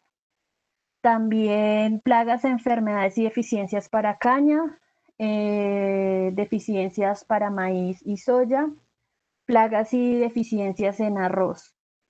Eh, deficiencias nutricionales para caucho, complementar la información que ya contiene Doctor Agro, y en cacao, eh, plagas, enfermedades y deficiencias. Entonces ahí damos respuesta a los nuevos objetivos que desean que se incluyan y más adelante contemplaremos aquellos que no, que no hemos mencionado. Otras de las preguntas y que van dirigidas al doctor Guillermo León eh, están en función, bueno, eh, Cristian Chiles nos pregunta, después de un control de tricograma del 100% de esos huevos, ¿qué pasa con tricograma? Que si desaparece, sigue en el lote afectando a alguna planta o qué pasa con ellos. Adelante, doctor. Bueno, cuando se hace una aplicación de tricograma, eh, el tricograma lo que busca son las posturas del gusano cachón. Entonces él trata de, parasitar todas las posturas que encuentre. Eh, si hay 100%, 100 de parasitismo, pues entonces después de 3, 4 días van a nacer más tricogramas. Entonces el tricograma se puede establecer en el, en el cultivo siempre y cuando siga habiendo o ocurriendo posturas de la plaga. En el momento en que las posturas de la plaga disminuyen, pues el tricograma no va a encontrar dónde hospedarse, dónde reproducirse, entonces va a tratar de buscar en otros hospederos, va a buscar otros hospederos. Entonces, digamos, si la plaga se mantiene, eh, hay, hay huevos continuamente, que casi no siempre los hay, porque hay unas épocas en que, en que los picos poblacionales son mayores y descienden casi hasta disminuir totalmente. Entonces ahí podría, digamos, el tricograma desaparecer. Pero si encuentra huevos de, de, gusano cachón, pues va a permanecer. Eh, y el tricograma nunca afecta a las plantas, porque siempre va a buscar eh, los huevos de lepidópteros más que todo. Entonces, eh, se considera como un insecto benéfico que no, no causa ningún daño. Y el establecimiento depende de los niveles poblacionales de la planta, de la plaga, perdón. Listo, doctor, muchas gracias. Eh, Edgar Rodríguez nos pregunta, ¿Cuántas pulgadas de tricograma por hectárea y número de aplicaciones se deben hacer? Bueno, eh, las aplicaciones de tricograma se determinan de acuerdo a dos cosas. Primero, conocer los adultos. Entonces, si nosotros conocemos los adultos y miramos que hay polillas por ahí volando por la noche, se acercan mucho a donde están las fuentes de luz, donde están las lámparas, cerca de las casas, entonces ya se ven las polillas, ese es el momento de estar liberando el tricograma. Hoy también hay que hacer, digamos, eh, digamos una eh, revisión de la plantación y en búsqueda de, las, de, las, de los huevos de, de la plaga. Cuando hay huevos de la plaga nomás o hay polillas de la plaga, entonces Dependiendo de la cantidad de huevos, se pueden liberar entre 50 pulgadas a 100 pulgadas. Ya vimos que con 50 pulgadas a veces se encuentran porcentajes de parasitismo bien eficientes eh, que pueden alcanzar por encima del 80%. si liberamos 100 pulgadas, pues, pues también vamos a encontrar parasitismos hasta el 100%. La liberación se puede repetir en caso de que no haya efecto, que no haya buen efecto o que haya una reinfestación de la plaga, 15 o 20 días, pero entonces hay que estar monitoreando y se pueden volver a, se podría volver a liberar. Y la liberación igual, 50 a 100 pulgadas por hectárea.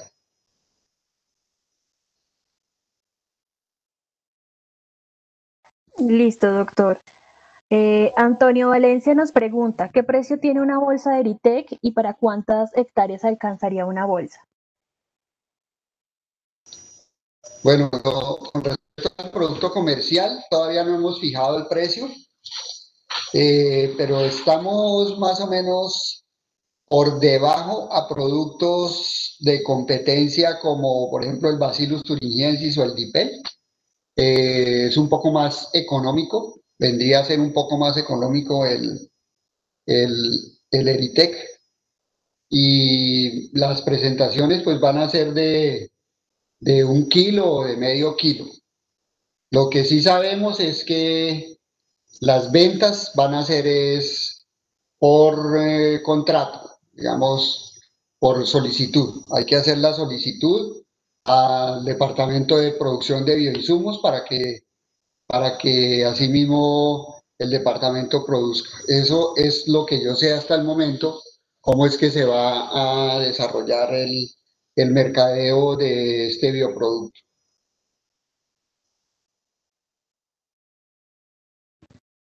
Listo, doctor, muchísimas gracias. Eh, el objetivo principal de este, de este ciclo de conversaciones era pues presentar la aplicación y motivar la descarga y uso de, Doctor Agro y profundizar sobre aquellos contenidos, eh, como, como pudieron observar, eh, sobre el manejo del gusano cachón y algunas enfermedades en caucho. Entonces quisiera invitar a, los conferencistas, a los expositores que nos acompañan, a, darnos una idea que consideren eh, necesaria para cerrar este conversatorio. Entonces, adelante, doctora Nancy.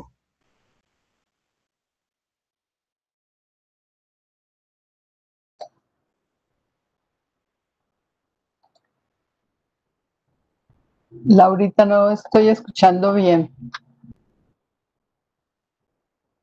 Sí, doctora Nancy, la idea es cerrar con un mensaje eh, respecto a Doctor Agro, un mensaje que quiera que se lleven eh, los participantes en este conversatorio.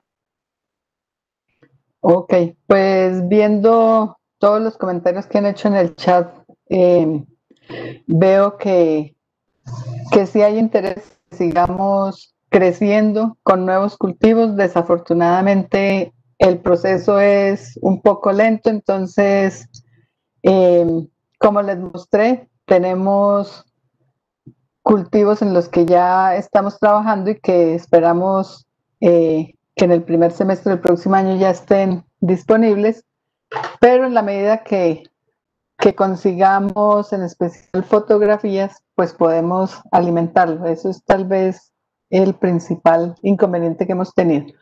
Invitarlos a que la descarguen, la usen y por favor nos envíen sus comentarios eh, si se les presenta algún inconveniente con su utilización o si por el contrario eh, está eh, bien elaborada y, y les muestra la información que ustedes esperaban encontrar. Por último, pues darle las gracias a, Fernando por haber utilizado nuestra plataforma Doctor Agro y comentarles que seguiremos avanzando en caucho con la, el desarrollo de las deficiencias nutricionales. Será una tarea también para el próximo semestre. Ya hemos hablado con Fernando, ya eh, comenzaremos a, a implementar esta, esta nueva herramienta también, que fue la última que desarrollamos para el caso de algodón. Eh, esperamos sus comentarios por el chat y también agradezco mucho a Guillermo y Aníbal por su participación, por esa recomendación eh, precisa y, y pues en especial eh, favoreciendo el control biológico para evitar el uso de, de otros plaguicidas indiscriminadamente. Eh, por mi parte, eh, dejo ahí, pero de pronto los comentarios de los demás compañeros participantes. Muchas gracias y feliz día para todos.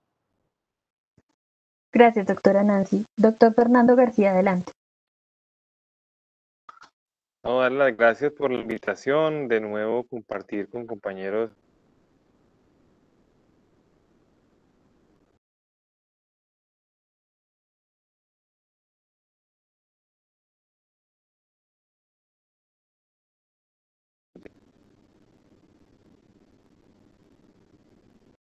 Nuestro comienzo como gremio estar siempre dispuestos a, a,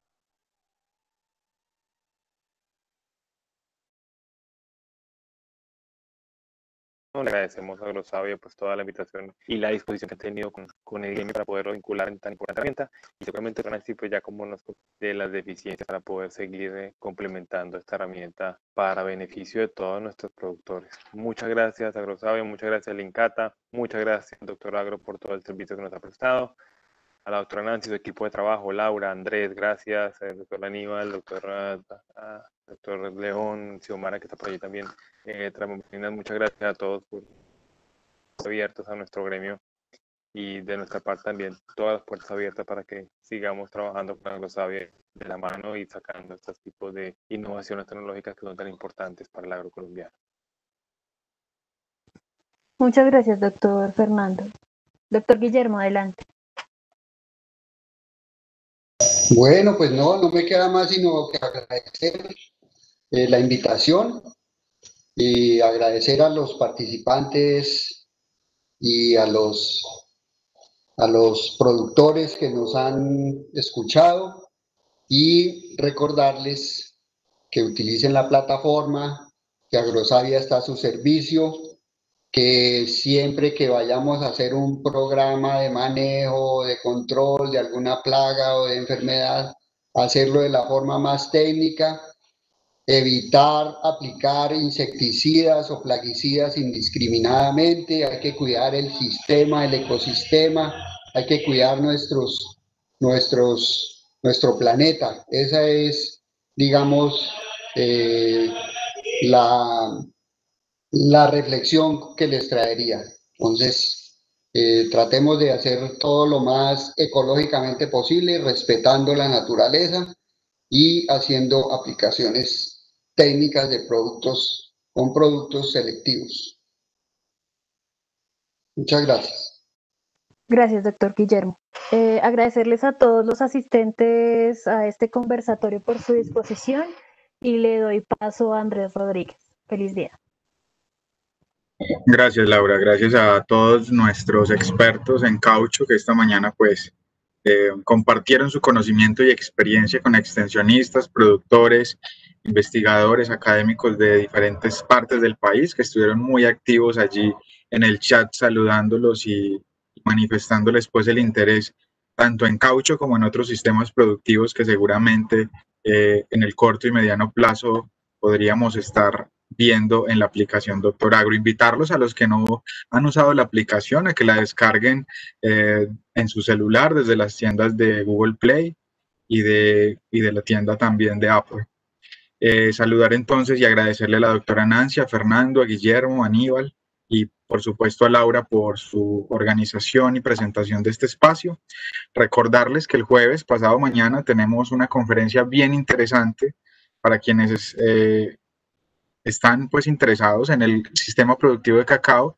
Tendremos sistemas agroforestales en sistemas de cacao en zonas productoras de Colombia. Nos acompañará el investigador Jairo Rojas del Centro de Investigación La Suiza del Departamento de Santander. Entonces están totalmente invitados. Allí en Linkata encuentran el enlace para registrarse en esta conferencia, para inscribirse en esta conferencia y participar el día jueves a las 10 de la mañana. También quería comentarles rápidamente que la primera semana del mes de diciembre vamos a tener nuestro encuentro virtual Linkata 2020, en el que esperamos congregar extensionistas y, actores relacionados con la prestación del servicio de extensión en diferentes zonas del país. Entonces, para que vayamos teniendo en mente este espacio en el que queremos compartir con ustedes, conocer sus experiencias y también traer pues unos ponentes que puedan aportar muchísimo al quehacer de ustedes en el día a día. No siendo más, pues les deseamos desde Agrosavia y desde la comunidad Lincata un feliz resto de día. Muchas gracias a todos. Muchas gracias. Muchas gracias.